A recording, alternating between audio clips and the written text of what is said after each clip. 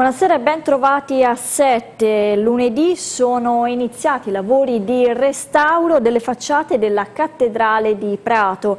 Iniziato quindi l'allestimento dei ponteggi e le opere propedeutiche all'avvio vero e proprio dei lavori di restauro appunto della facciata della cattedrale. Guardate.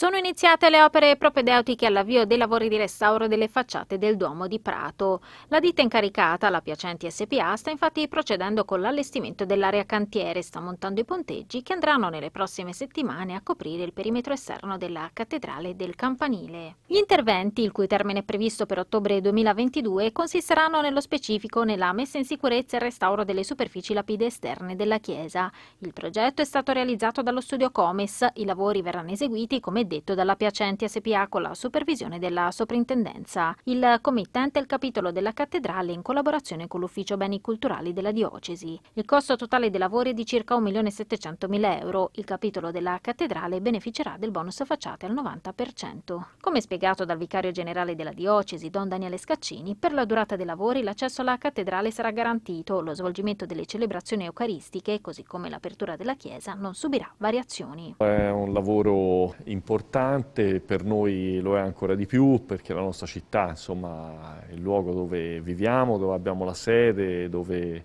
vivono tanti dei nostri dipendenti e saranno contentissimi di lavorare eh, senza trasferta perché da noi oramai è una costante e, e niente, il Duomo è un sogno per noi. Nei giorni scorsi la Piacenti SPA ha iniziato i lavori preparatori al restauro facendo dei saggi sulle pietre e delle prove di pulitura. Adesso è iniziato l'allestimento dell'area cantiere con l'avvio in concomitanza degli interventi che procederanno per step. I vari step sono lo studio del materiale lapideo, del degrado, successivamente verranno eseguite prove di consolidamento e di pulitura e poi per arrivare definitivamente ai lavori veri e propri che comporteranno la pulitura il consolidamento dei materiali lapidei. Oltre al materiale lapideo ci sono anche le statue sul fronte della cattedrale che avranno necessità di un restauro approfondito e una pulitura per farle tornare allo splendore iniziale. E sempre di lunedì la notizia che il TAR ha sospeso l'interdittiva antimafia nei confronti della Cafissi Alvaro. Il provvedimento della prefettura decade in attesa della pronuncia di merito fissata ad aprile 2022. Il TAR della Toscana ha sospeso l'interdittiva antimafia della prefettura di Prato che due mesi fa aveva colpito l'azienda di costruzioni Cafissi Alvaro SRL dell'imprenditore Alessandro Cafissi. I giudici amministrativi hanno accolto il ricorso degli avvocati Ugo Fanti e Duccio Maria Traina. Nella loro memoria difensiva, i legali avevano confutato le accuse che scaturivano da un'inchiesta della DDA di Firenze su un giro di riciclaggio e smaltimento illecito di rifiuti a carico di altre imprese edili di terzi ritenute proiezioni dell'andrangheta catanzarese in Toscana. L'inchiesta aveva toccato di riflesso anche Alessandro Cafissi, al quale veniva contestato di aver fatto lavorare in tre cantieri pubblici senza subappalto e attraverso il meccanismo del distacco i dipendenti di un'altra azienda finita al centro delle indagini e ritenuta dalla DDA vicina alla criminalità organizzata. Gli avvocati di Cafissi, il quale a seguito delle contestazioni si era autosospeso da presidente di Ance Confindustria Toscana Nord, hanno prodotto una serie di documenti e prove del fatto che in realtà in due dei cantieri vi era stato un regolare subappalto autorizzato dagli enti pubblici nei confronti di una società fino a quel punto dotata di tutti i requisiti di legge per potervi accedere e che anche nel terzo cantiere si era agito rispettando le normative vigenti utilizzando il meccanismo del distacco di manodopera, argomentazioni che sono state accolte dal TAR. Nel merito i giudici si pronunceranno nell'udienza del prossimo 21 aprile, ma intanto la Cafissi Alvaro potrà chiedere di vedersi riassegnati gli appalti revocati o congelati, tra cui anche quelli per il comune di Prato per la riqualificazione di via Pistoiese. Votato nella nottata di lunedì l'emendamento alla legge di bilancio che ha stanziato 10 milioni di euro per il distretto industriale pratese. Il Comune ha detto un segnale concreto per il lavoro grazie alla sottosegretaria Bini per il supporto. 10 milioni di euro per il distretto tessile. A tanto ammonta il contributo previsto per il 2022 dall'emendamento alla legge di bilancio votato questa notte. Un risultato reso possibile grazie al confronto promosso dall'amministrazione comunale di Prato tra le categorie economiche, la sottosegretaria ai rapporti col Parlamento Caterina Bini e successivamente al viceministro Castelli. Un percorso svolto nella massima riservatezza. Il contributo arriverà al Comune di Prato, che sarà stazione appaltante verso le imprese del settore tessile dell'intero distretto. Non si parla solo di Prato, quindi, ma anche di Montemurlo, Calenzano, Aiana e Montale. Siamo partiti incontrando le categorie economiche per capire come potevamo anestetizzare gli aumenti del costo dell'energia e del gas. Eh, poi in questo percorso, insieme all'assessore Squittieri, con eh, l'appoggio veramente insostituibile disponibili di, di Caterina Bini e del vice ministro Castelli, abbiamo proseguito eh, virando su quella che poi è stato il risultato ottenuto, cioè 10 milioni di euro da spendere per il nostro distretto, un lavoro vero che fra l'altro anche i parlamentari pratesi hanno contribuito a portare in fondo, è stato un bel lavoro di squadra e che portano appunto risorse come mai era successo per il settore tessile che il comune gestirà con bandi mirati. Il sostegno al distretto è stato attribuito in considerazione dell'impatto dell'emergenza Covid. Secondo la norma potrà essere disposto per diverse linee di intervento, efficientamento e riduzione dei costi di approvvigionamento energetico, transizione digitale, economia circolare, rafforzamento della cultura sugli standard di prevenzione e tutela della salute e sicurezza nei luoghi di lavoro. Costituiremo un tavolo tecnico da gennaio per stabilire quali saranno i criteri eh, che verranno applicati all'interno del bando. Ovviamente c'è tutto il tema dei costi dell'energia, eh, c'è tutto il tema però anche del sostegno alle attività eh, del nostro distretto. Dobbiamo Dobbiamo essere chiari, questo è un modo per stare accanto alle imprese del distretto pratese, ma è un modo per diciamo, pensare al futuro del lavoro di questa città. Eh, il Ministero ha 60 giorni per diciamo, eh, attuare eh, le norme che sono scritte in legge, in legge di bilancio, quindi sarà un lavoro che dovremo fare anche di concerto con il Ministero dello Sviluppo Economico, che ovviamente diciamo, stiamo già in, per la via informale avviando.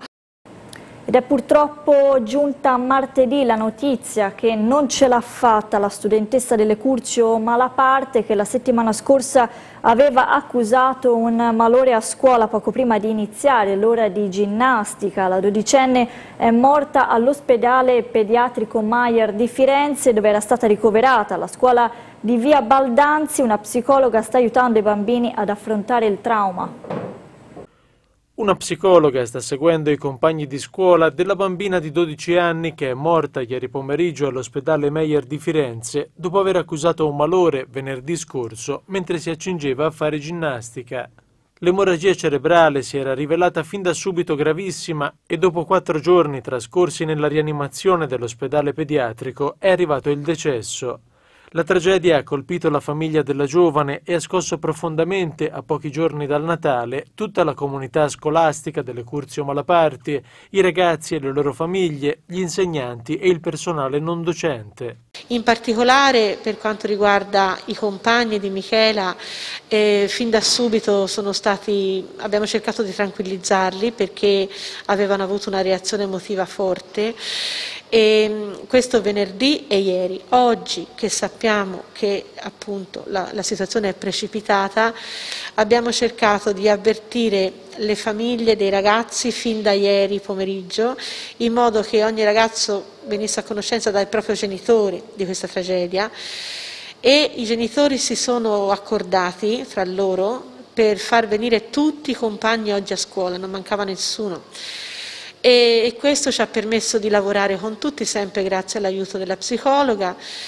E, è stata più di due ore in classe e, attraverso chiaramente attività che lei conosce ha cercato di fare esternare a questi ragazzi il senso del dolore, della rabbia, del, del, proprio del trauma che hanno subito e poi continuerà questo lavoro domani e domani l'altro. Oltre a questo pensiamo di organizzare per gennaio un lavoro proprio ancora più approfondito di elaborazione del lutto e del trauma e questo sia per i bambini che per i professori. E tra l'altro una bambina che era inserita, che nella classe era amata da tutti, lei la, la conosceva, possiamo chiederle un ricordo? Allora, questa bambina è arrivata da noi in prima media perché la scuola primaria l'ha fatta in un altro istituto, una bambina cinese che era inserita benissimo sia con, le, con, i compagni cinesi che con i compagni italiani. Anche stamattina i compagni hanno detto era gentile, era gentile perché nelle materie in cui lei riusciva meglio, tipo la grafica, sai i cinesi sono bravi, lei aiutava tutti e, e i bambini questo lo riportano. Sequestrati 150 kg di botti non a norma venduti in negozi di articoli e casalinghi, denunciati i gestori che avevano anche assemblato più batterie creando vere e proprie bombe. I carabinieri e la Polizia Municipale di Prato hanno effettuato una serie di controlli all'interno di esercizi commerciali che vendono fuochi pirotecnici per verificare il rispetto delle regole previste dal testo unico di pubblica sicurezza. I controlli hanno riguardato diversi negozi della provincia, hanno portato al sequestro di circa 150 kg di materiale pirotecnico e alla denuncia di tre cittadini cinesi che nell'ambito della gestione dei loro negozi di casalinghi, articoli vari in via Filzi e via Gora del Pero avevano messo in vendita il materiale sequestrato. I tre denunciati avevano messo in vendita materiale pirotecnico della categoria F2 con coefficiente quantitativo di materiale esplodente superiore al limite oltre il quale la libera vendita non è consentita, necessitando invece di specifica licenza. Avevano inoltre prodotto dei fuochi realizzati mettendo insieme anche 20 o 30 batterie pirotecniche che, seppur legali, in questo modo componevano vere e proprie bombe di elevatissima potenza vietate alla libera vendita. I botti così trasformati avevano alterato e resa inefficace la certificazione CE di cui erano muniti, non corrispondendo più di fatto al prodotto prodotto originario. E questa settimana siamo tornati ad occuparci della vaccinazione perché dalla prossima settimana riapre l'hub al Pellegrinaio Novo. Le somministrazioni intanto proseguono anche nei giorni di festa. Nuova spinta nella campagna di vaccinazione anti-Covid. A partire da lunedì 27 dicembre riaprirà infatti il Pellegrinaio Novo, chiuso dalla fine di ottobre. L'hub, che non era mai stato smantellato, tornerà quindi ad affiancare il centro Pegaso di via Galcianese. A gestire la struttura saranno le associazioni di volontariato. Riprendono i contagi, purtroppo anche in città i numeri sono abbastanza elevati, per cui si è ritenuto insomma, di riaprire prima il pellegrinaio rispetto a quando pensavamo e quindi lunedì 27, lunedì prossimo, va riaperto il pellegrinaio di pomeriggio dalle 2 e mezzo alle 7 e mezzo e faremo diciamo dalle circa 200 dosi al giorno in, in più rispetto a quelle che già sono state aumentate in questi giorni al CREAF che sono arrivate fino a 1500 al giorno. Abbiamo visto e lo vediamo purtroppo tutti i giorni che la vaccinazione è effettivamente la cosa che protegge maggiormente da questo virus, per cui bisogna cercare di aumentare insomma, le dosi di vaccinazione somministrate. Intanto continua ad essere attiva la modalità di accesso open nella rete degli hub territoriali riservata a coloro che devono effettuare la prima dose di vaccino anti-Covid e che potranno quindi recarsi senza prenotazione in uno dei quattro hub principali dell'ASL Toscana Centro, tra i quali anche il Pegaso 2 di Prato, aperti 7 giorni su 7 dalle 8 alle 20. Nei giorni delle festività, il 24, il 25, il 26 il 31 dicembre e il 1 gennaio, l'orario di apertura sarà invece dalle 8 alle 13. Infine, a partire dal 29 dicembre, in seguito tutti i lunedì pomeriggio dalle 14 alle 19, nell'ala nord dell'ospedale Santo Stefano sarà dedicato uno spazio per le vaccinazioni protette dei bambini tra i 5 e gli 11 anni. L'accesso avverrà a seguito di una valutazione dello specialista allergologo a cui possono essere inviate le richieste di consulenza da parte dei pediatri di famiglia e dei medici vaccinatori degli hub. Tradizionale conferenza stampa di fine anno del sindaco e della giunta comunale. Il primo cittadino si è detto orgoglioso di come Prato ha affrontato l'emergenza sanitaria, poi ha difeso a spada tratta le scelte adottate per la viabilità cittadina. Prima la ripresina e l'aumento degli ordini, poi la stangata del caro bollette e delle materie prime, infine i 10 milioni di euro a sostegno del distretto stanziati dal governo nella legge di bilancio. È stato un anno fra alti e bassi il 2021 vissuto in provincia di Prato, ma che comunque ha visto il tessuto economico cittadino reggere a fronte di presupposti che destavano non poche preoccupazioni. Lo ha ricordato il sindaco Matteo Biffoni nel corso della conferenza stampa di fine anno, durante la quale ha ribadito come ci sia bisogno di continuare a raccontare ricordare a Roma, negli uffici ministeriali e laddove si decide il futuro del paese, le peculiarità di Prato. Una città grande, ha detto Biffoni, con problemi da grande città. A Roma bisogna assistere, bisogna assistere, raccontare Prato, venitela a conoscere, prendete in mano i nostri dati effettivi e valutateli non sul numero del, degli abitanti della provincia, che è il nostro grande limite, ma su quello che effettivamente c'è dentro quella provincia. Il sindaco ha guardato anche al prossimo futuro e alla possibilità di attrarre risorse sul territorio grazie al PNRR. Le perplessità sui grandi progetti però non mancano a causa dei tempi troppo stretti per rendicontare i lavori all'Europa.